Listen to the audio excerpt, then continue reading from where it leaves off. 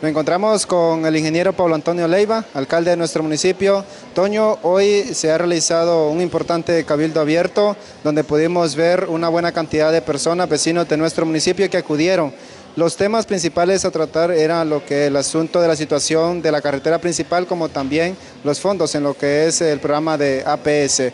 Al respecto, ¿cómo se manejó este, este asunto y qué fue lo que enfáticamente se le dio a lo que fue la población ispereña? Bueno, muchas gracias. Primeramente, un saludo a toda la eh, población ispereña y decirles de que nuestro único interés en todo esto es que el pueblo esté debidamente informado, correctamente informado y se sepa que estos temas no solamente son de interés de la corporación, eh, son un interés general de toda la población y buscarle soluciones a cada una de las problemáticas que se van presentando particularmente sobre el tema de los fondos generados en el centro de salud. Eh, estamos eh, realizando el cabildo abierto y se ha acordado a nivel de asamblea que los fondos recuperados sean manejados y administrados localmente, porque no son fondos de la Secretaría, son fondos de la población ispereña, está pagando por los servicios que presta el centro de salud. Por lo tanto, no puede ser que venga la región sanitaria solo a quererse llevar los fondos que no son de ellos, pues son de los, del pueblo. Eh, eh, surge la inconveniente porque la Secretaría nunca regresa los insumos necesarios para el funcionamiento del laboratorio, el funcionamiento de la clínica de odontología. Entonces lo que nosotros queremos es, si tenemos por parte de la municipalidad un administrador en el centro de salud, entonces lo, lo correcto lo que le genera un beneficio a la población es que ahí se administren esos fondos y ahí se hagan las compras de los insumos necesarios para el buen funcionamiento del laboratorio y de la clínica de odontología. Por otro lado, el tema de la pavimentación, que es un tema que ya, según hicimos memoria, lleva cerca de 10 años todo el proceso, eh, pues tenemos la claridad de que el proyecto está adjudicado, que está una empresa contratada por el Estado de Honduras y que solo hace falta que el gobierno disponga de su voluntad y le dé la orden de continuación a la empresa. Eh, no ha habido ninguna rescisión del contrato por parte de la empresa, mucho menos por parte del gobierno. Es un contrato que está vigente, pero que necesita una sola cosa, que el gobierno diga continúe. Y si el gobierno dice continúe, mañana están las máquinas pavimentando para el níspero. Eso no es mayor cosa. El gobierno gasta mucho dinero en otras cosas que no le generan beneficio al pueblo y que eh, lo que nosotros le generamos al Estado es muchísimo más que lo que le estamos solicitando para este proyecto de pavimentación. Como bien lo dijo Manuel, eh, más de 30 años de estar generando energía en el níspero cuántos miles de millones ha generado y qué es lo que le han devuelto al NISPER. No hay una obra significativa, retributiva, de lo que se lucra el gobierno central por parte del municipio del Níspero. Acciones concretas como esta, entonces, eh, de parte de municipalidad, poder darle un mantenimiento, eh, un paliativo, eh, por mientras ese momento llega en que el gobierno asuma su responsabilidad y le dé esa satisfacción a todos los nispereños de tener una carretera pavimentada hacia, hasta el casco urbano. Mucho se ha hablado sobre el asunto de lo que es la carretera, que a veces la población eh, considera de que las autoridades municipales son las que deben tomar, como dicen, eh, en serio este tema, pero que realmente a quien debidamente le corresponde es al gobierno de poder hacer este proyecto una realidad en nuestro municipio. Bueno, de dónde vienen las palabras es que hay que saberlas interpretar. Eh, el pueblo nispereño aún está soñando con una carretera pavimentada por las acciones que yo emprendí como alcalde. Anteriormente era un juego demagógico de tomar medidas y hacer eh, un levantamiento topográfico previo a las elecciones. Eso se dio durante muchos procesos electorales. Lo que yo hice siendo alcalde es el proceso correcto, que es que se contrata la empresa por parte del Estado, por parte de, en aquel tiempo se llamaba Soctravi, contrata una empresa para que le haga la obra. Y eso solo pudo ser posible cuando yo fui alcalde. Todas las demás voces disonantes que hay sobre qué hace el alcalde, sobre la pavimentación, bueno, yo soy el que tengo soñando al pueblo y me gusta que se expresen esos términos. Por eso provocamos un cabildo abierto, para que el pueblo esté debidamente enterado cuál es la competencia de la municipalidad y cuáles son las competencias del gobierno central. Aquí, eh, si alguien me quiere responsabilizar a mí del pésimo estado de la carretera de, eh, principal del Níspero, está equivocando el camino porque políticamente todo mundo sabe que esa es responsabilidad del gobierno central.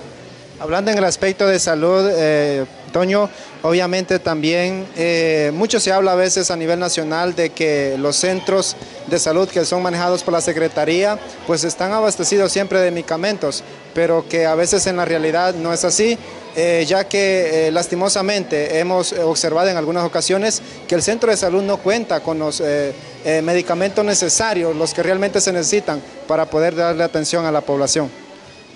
Lo que sucede es que la salud en Honduras eh, se maneja bajo un enfoque privatizador, bajo un enfoque de que tiene que haber un negocio de por medio, cuando es todo lo contrario, es un derecho de la población. Constitucionalmente, la salud es un derecho y una obligación del Estado para con los hondureños. Por lo tanto, eh, ¿Cómo maneja la Secretaría de Salud el tema de los medicamentos? Allá en Tegucigalpa hacen lo que se conoce como paquetes básicos y agrupan determinados eh, medicamentos, pasen una lista y en base a la población estiman un consumo y hacen una compra multimillonaria dentro de la cual ya sabemos el proceso que utilizan para lograr la adjudicación, que primero va el negocio y después la adjudicación por eso es que constantemente en los centros de salud estamos viendo que de los medicamentos que se necesitan no hay, pero de algunos medicamentos hasta se tiene que votar porque se vence el producto. ¿Cuál sería la lógica correcta de todo esto? Lo que nosotros hemos querido hacer. Secretaría de Salud, usted no puede. Dele el dinero a la municipalidad. La municipalidad tiene el programa de atención primaria en salud, tiene identificado todas las necesidades de medicamentos, lo que se conoce en la ciencia médica como dispensarización, y en base a eso poder hacer las compras. Cambiaría totalmente la historia si fuese la municipalidad la responsable de poder eh, abastecer los centros de salud que tenemos en nuestro municipio y por supuesto se compraría manejando un inventario y una demanda por lo tanto, se compraría lo que se necesitaría, lo que hace falta. Y eso es lo que tiene que cambiar, pero para eso tiene que haber nuevamente la voluntad política del gobierno de, decir que los fondos eh, necesarios para la salud sean trasladados a la municipalidad. Siempre dentro de lo que es el programa APS en nuestro municipio, la verdad es bastante amplio, abarca muchísimos aspectos. Eh, estamos, eh, hemos conocido ya desde esta semana que pasó el asunto del proyecto que se quiere eh, montar en nuestro municipio, como es la potabilización de agua, como también el proyecto de Nueva York, que también está siendo en parte financiado por USAID. son proyectos que están siendo dados a, las diferentes comunidades con el fin de seguir fortaleciendo el programa APS que está implementando la Corporación Municipal. Definitivamente, eh, para nosotros tenemos bien clara la línea por la cual tenemos que transitar. Estamos hablando de que queremos una población de nispereños completamente sanos o, la mayoría de los nispereños que estemos eh, gozando de salud por lo tanto, el programa de atención primaria en salud busca todos los factores que afectan y que facilitan que una persona enferme. El principal es el agua. Y para ello hemos trabajado durante varios años tratando de que las juntas de agua sean organizaciones eh, que conozcan y que entiendan y que funcionen correctamente. Por lo tanto, si tenemos organizaciones que son las que prestan el servicio de agua en cada comunidad, podemos ahora ir pensando en cómo a cada comunidad le vamos mejorando los sistemas de agua para que la calidad del agua sea la idónea para que la persona no enferme. Y en un nivel más avanzado, estamos hablando del proyecto de agua de, El Níspero y San Jerónimo, que ya tenemos eh, en proceso de gestión una planta potabilizadora. Eso vendría a revolucionar completamente los indicadores de salud en estas dos comunidades, que son un buen volumen, del, eh, un buen porcentaje de la población total del níspero, eh, pero como un inicio, porque mi meta, mi aspiración es que todo el municipio pueda tener disponible agua potable de la manera más económica posible. ¿Para qué? Para que los niños crezcan en condiciones eh, ventajosas y puedan gozar de salud y puedan tener una larga vida eh, sin tener que depender de medicamentos. Todo esto se junta y se conjuga con lo que tenemos el programa de alimentación escolar, que es enseñarle a los niños la alimentación correcta, que las madres de estos niños no solamente se conformen con que el niño en la escuela eh, consume vegetales, sino también que en la casa ellas aprendan a cocinar eh, o a preparar la alimentación correcta, eh, debidamente balanceado, un plato de comida que incluya fuentes de vitaminas, fuentes de minerales, que incluya fuentes de proteína, pero carbohidratos por supuesto comemos excesivamente, eh, pero hacia eso está enfocado todo esto y nosotros también creemos o queremos que exista la familias Promusan algo muy importante es que Promusan abarca todos estos programas y se va un paso más adelante incluyendo la parte agrícola. O sea, queremos que no solamente estar comprando vegetales eh, cosechados fuera del municipio, queremos que el municipio eh, pueda vender más bien vegetales que son cultivos de alto valor eh, y salirnos un poco de ese círculo de lo que es la agricultura nuestra, la subsistencia de granos básicos y el café con poca tecnificación, que al final de cuentas eh, sabemos que hay otros cultivos de alto valor y que le pueden generar muchísimas más ganancias a la población. Obviamente, hay que entrar en un proceso de aprendizaje, lo estamos haciendo desde la municipalidad, tenemos muy buenas experiencias en cuanto a la producción de hortalizas, así como también tenemos las que no salen bien, ¿verdad? O sea, no vamos a, engañar en esto de que todo lo que se hace tiene que tener garantizado el éxito. Pero a la poste lo que queremos es que todos estos programas se juntan y generamos una familia Promusan. Agua, educación, salud, producción, viviendas, todo este paquete es la oferta que tiene la municipalidad, por lo menos durante yo sea alcalde, para que el pueblo pueda ver cambios sustanciales en su forma de vida a nivel del hogar. Si cambiamos el hogar, cambiamos una sociedad, cambiamos una comunidad. Ahora, Toño, ya cerrando, eh, dos preguntas más. Sería el asunto, usted mencionó lo que es el programa PAE. Últimamente hemos visto que los centros educativos no está funcionando el programa juntamente con lo que es el PMA, que era un complemento. ¿A qué se debe esto? Que obviamente muchos padres de familia y maestros han preguntado. La otra sería, para esta semana se tiene previsto la representación por parte de USAID. ¿Qué significa el poder tener este tipo de personas en nuestro municipio? ¿Cuáles serían los beneficios que estaría recibiendo el, pueblo nispereño?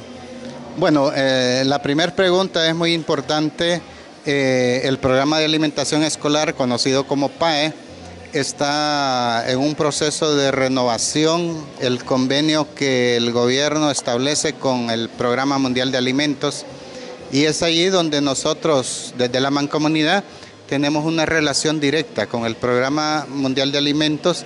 Eh, todo esto ha generado un vacío y una inconformidad, yo lo entiendo, pero es un tema de presupuestario que el PMA le demanda al gobierno de la partida presupuestaria para poder continuar con el programa. En otras palabras, eso está en el debate. Eh, se ha dicho muchas cosas, pero al final de cuentas es falta de asignación presupuestaria por parte del gobierno. Lo que realmente, muy a pesar de que incluso hasta hay una ley de la alimentación escolar, pero no se, no se asume como una responsabilidad por parte del gobierno y no se está de manera anticipada. Nosotros como mancomunidad, como municipalidad, los centros escolares, las madres de familia, todos hemos hecho nuestro mejor esfuerzo para no quedar mal. Y no hemos quedado mal, hemos sido de los municipios y la mancomunidad ha quedado dentro de los primeros lugares en ejecución de este programa, pero lamentablemente el gobierno no ha, no ha ido en la misma dirección y ahora estamos en una en un círculo donde se está pasando el tiempo y no se le ha asignado fondos a este programa que es muy importante para el futuro de los niños y niñas. El otro tema es sobre la visita del nuevo director de la Agencia de Cooperación de Estados Unidos a nuestro municipio. Eh, si no es la primera, es de las primeras visitas que él va a hacer eh, porque está recién estrenado aquí en, Honduras. Eh, ellos vienen porque USAID tiene un programa para educación. Eh, están haciendo un lanzamiento de una modalidad de bibliotecas escolares que uno de los indicadores que se quiere mover fuertemente es que los niños no solamente aprendan a leer, sino que aprendan a leer, a interpretar, a analizar lo que leen. Porque de nada sirve leer si solo lees y no sabes qué es lo que estás leyendo o no puedes digerir lo que estás leyendo. Entonces el principio del conocimiento entra por saber leer y analizar lo que se lee, entender lo que se lee. De ahí las demás ciencias se te facilitan si podés leer, entender y comprender. Entonces lo que busca este programa es que el niño le, lejos de solo quedarse con que puede leer, también puede analizar lo que lee. Estamos hablando de un ciudadano con una enorme ventaja y, eso conllevaría a que en las otras materias ya no tengan dificultad. Eh, USAID tiene como meta convertir al níspero en un municipio modelo. Tenemos un convenio directo con USAID y por supuesto que el, nuevo director de USAID eh, viene al níspero, viene porque tenemos suscrito ese convenio con la Agencia de Cooperación de Estados Unidos. Sobre ello, los diferentes programas que tiene USAID, aquí ya tenemos USAID Acceso a Mercado, tenemos el de Educación, eh, tenemos el de Gobernabilidad que recién acaba de iniciar, eh, vamos a tener vinculación con el programa del ambiente y vamos a tener también un programa que lo van a crear muy pronto, que es el de infraestructura. Así que el Níspero se va a convertir dentro de poco un pueblo donde si el director de USAID viene, es porque esto, el Níspero se va a convertir en la vitrina para que otros municipios vengan a aprender aquí. Así como lo han hecho los alemanes con las construcciones escolares, así también va a estar viniendo otro tipo de gente aquí. Eh, mi estilo, mi forma de administrar eh, la municipalidad es con delegación de funciones y mucha delegación ha sido en las organizaciones comunitarias, por lo que para mí es satisfactorio que el buen desempeño de las organizaciones comunitarias conlleva a que tengamos tan honrosas visitas el próximo viernes. Bueno, fueron las palabras del ingeniero Pablo Antonio Leiva, alcalde de nuestro municipio, hablando ampliamente sobre lo que fue la reunión que se estuvo el día de hoy en este Cabildo Abierto, por supuesto también de otros temas de mucha importancia para nuestro pueblo nispereño. Con las imágenes de Juan Carlos López, Naún Romero para Noticias Nispero TV.